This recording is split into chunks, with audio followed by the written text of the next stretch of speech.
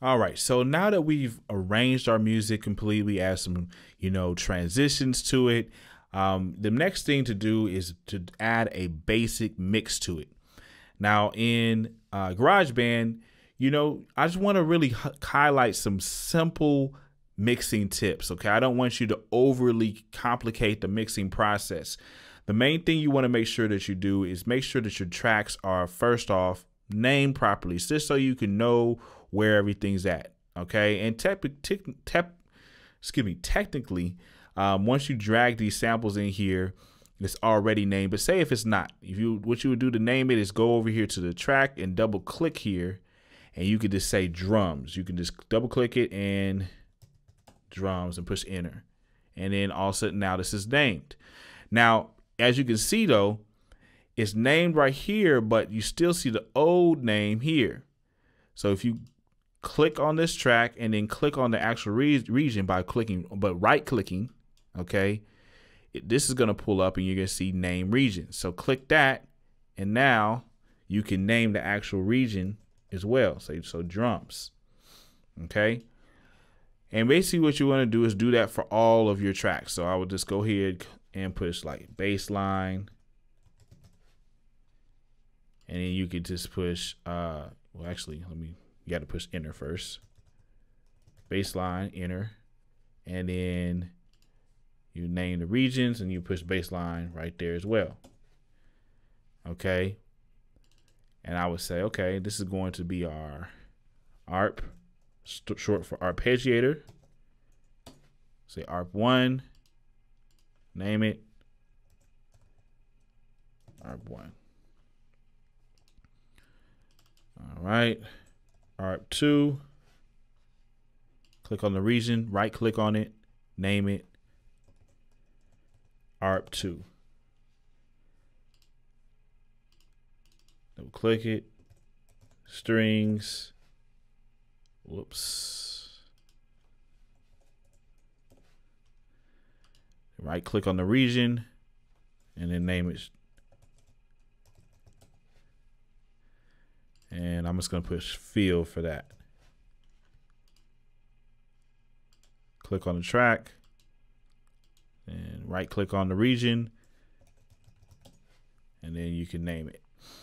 Okay now after everything is named properly then I want to properly order everything or organize it so drums come at the very top, then you have your bass line, then that's when you move into your melody tracks, which will be these arpeggiators, and then you have some strings and your fills, okay?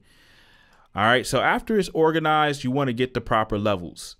Now, the things to keep in mind when you're mixing is all everything is about balancing, okay? So you want to make sure you can properly hear everything, meaning all of the different instruments, all right?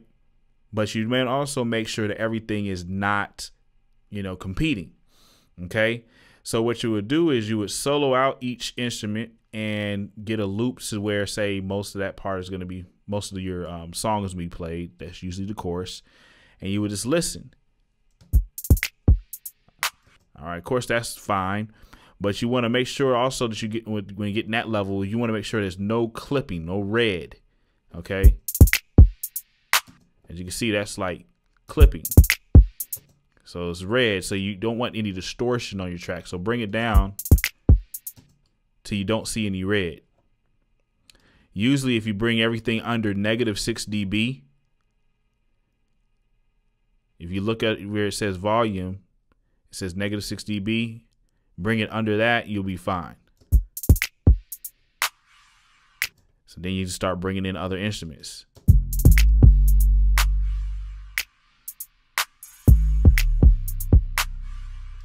So you want to be able to hear the instrument, but with but you don't want it to be competing with the drums. So say say if I brought this bass up,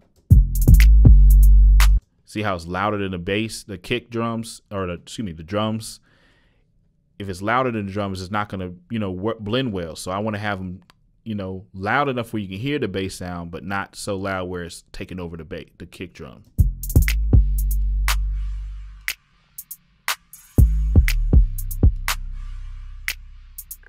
Right.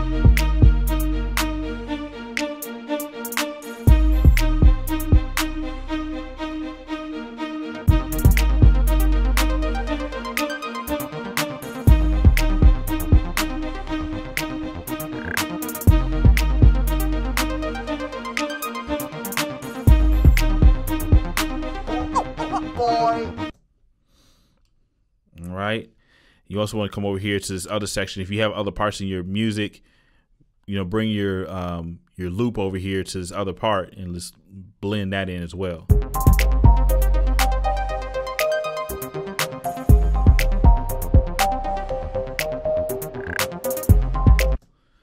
And voila, you're done. Now, the cool thing about your Apple loops is that most of those loops are already pre-mixed. So you're not going to have to try to, you know, really add a bunch of EQing and compression and all that type of stuff to them. But if you do want to add some effects, add those effects sparingly. And I'm going to show you how to actually add effects if you do want to do that. So the first thing you want to do is select a track that you want to add some effects to. In this case, I want to put a delay sound on our field where it has like this like DJ uh, uh, uh, boy part. We want to go ahead and add some type of delay. So what I'll do is come over here to this little knob right here, smart controls. All right. And click on that. Click on the eye. And then you can come down here to plugins. All right. Now this is actually selecting the master or if you want to do do this on the master, but you want to you don't want it to be on the master, so unclick the master, and this is just going to be on the track that you select. Okay. But we want to put a um, delay effect on here, and so what I would do is click over here and go down to delay and push delay designer. And I always recommend that you use presets. So click on over here on, on factory and go to simple. I would do maybe something like a, uh, you know, just just pick one of them and figure out which one you like best. I'm gonna go with this dotted delay. So now let's check this out.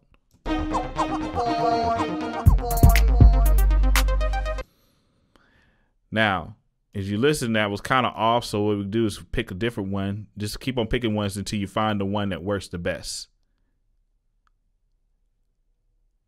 Um, I'm gonna go with this eight. Now that was pretty cool. Now what you could do if if you don't want that much um, of that echo effect in there, you can come over here where it says wet. Wet is actually what's going to be controlling the actual amount of the effect. So I can turn that down over here, and now let's listen to it. So how you can hear it, but you can't hear it.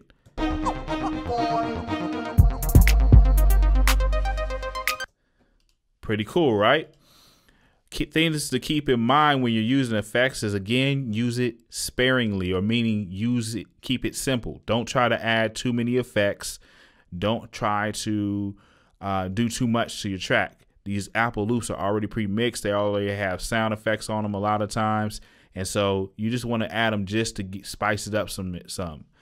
Um, if you want to remove an effect, all you have to do is go over here to the uh, left of the effect and click on that, and we'll turn it off or on. Okay. So that's really what I wanted to show you on this as far as mixing. Now you can come over here and uh, add other effects too if you want it. Um, but you know, keep it simple. All right.